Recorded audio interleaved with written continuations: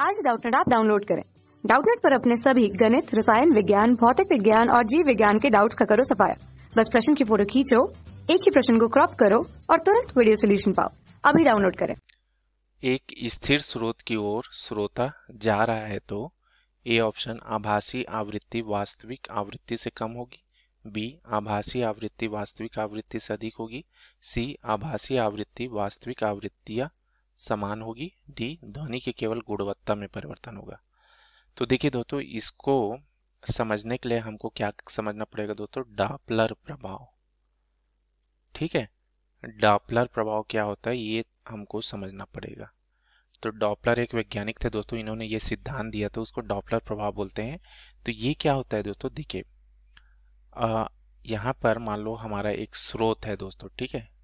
मान लो ये हमारा एक स्रोत है। एस एस फॉर स्रोत, ठीक है? जो ध्वनि उत्पन्न करता है दोस्तों, ठीक है? तो ये जो स्रोत है, ध्वनि उत्पन्न कर रहा है दोस्तों, ठीक है? अब यहाँ पर मान लो, एक श्रोता है दोस्तों, जो उसको सुन रहा है, ठीक है? तो इसको हम लोग बोलते हैं ऑब्जर्वर ठीक है?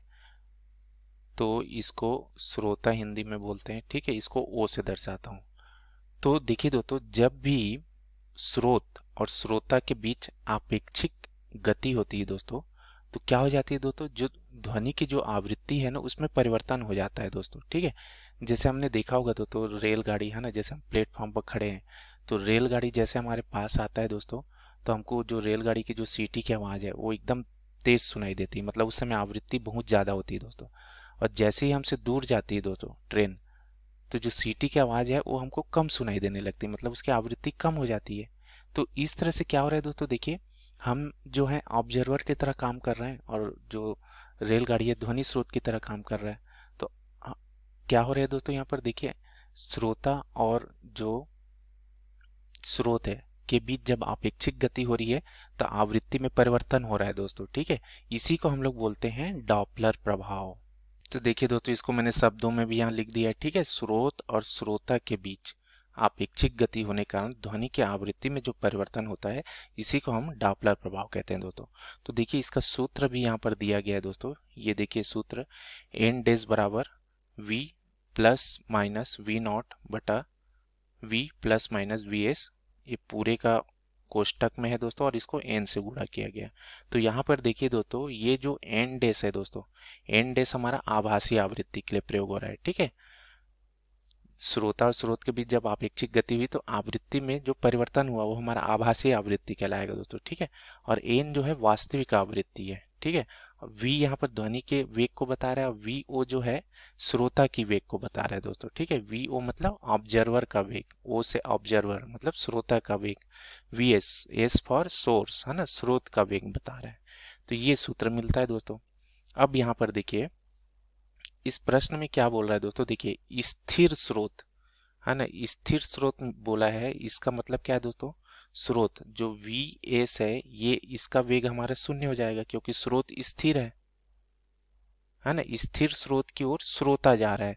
अब श्रोता का हमारा कुछ वेग मिलेगा दोस्तों, ठीक है? श्रोता मतलब ऑब्जर्वर के यहाँ पर, है ना? क्योंकि ये जा रहा है तो इसका कुछ वेग हो तो यहाँ वी एस हमारा शून्य है दोस्तों। तो देखिए हमारा सूत्र क्या हो जाएगा दोस्तों यहाँ से? ये जो हमारा सूत्र है ना दोस्तों एन डेस वाला, है ना? तो देखिए, क्या मैंने बताया दोस्तों? वी एस हमारा शून्य है।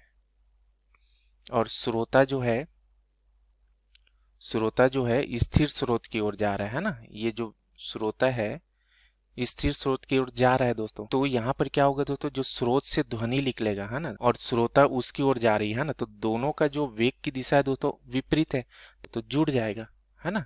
तो यहाँ पर क्या मिलेगा दोस्तों? देखिए, v प्लस यहाँ पर क्या हो जाएगा दोस्तों? वी ओ हो जाएगा, ठीक है? जुड़ जाएँगे यहाँ पर, ठीक है?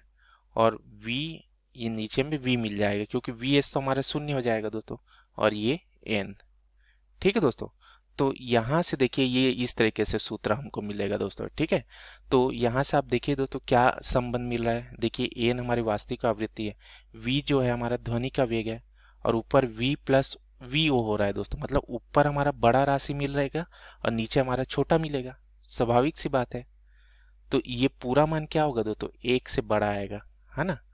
तो एक से जब बड़ा आएगा दोस्तों तो एन डेस जो है, यहाँ पर क्या हो जाएगा दोस्तों? यहाँ से एन से बड़ा हो जाएगा क्योंकि ये पूरा मान हमको बड़ा मिलेगा। ठीक है? तो यहाँ पर क्या हो रहा है दोस्तों? v प्लस वी ओ जो बटा वी है, ये क्या है? हमारा एक से बड़ा मिलेगा। ठीक है? तो इसलिए क्या हो जाएगा दोस्तों? इसलिए हमारा जो एन डैश है, ये क्या होगा? ये भी बड़ा मिलेगा एन से। ठीक है दोस्तों? तो इस तरह से देखिए हमारे आभासी आवृत्ति क्या होगी दोस्तों? ज़्यादा होगी वास्तविक आवृत्ति से। तो हमारा कौन सी ऑप्शन सही होगा दोस्तों? देखिए ऑप्शन आभासी आवृत्ति, वास्तविक आवृत्ति से क्या रिलेशन होगा? तो B option is the right answer दोस्तों। आभासी आवृत्ति जो है, वास्तविक आवृत्ति से अधिक होगी। धन्यवाद। कक्षा छठी से बारहवीं से लेकर NEET I I T JEE वो एडवांस के लेवल तक। एक करोड़ से ज़्यादा छात्रों का भरोसा। आज ही डाउनलोड करें डाउट नेट ऐप या व्हाट्सअप करें अपने सारे डाउट्स आठ चार सौ चार सौ चार सौ पर।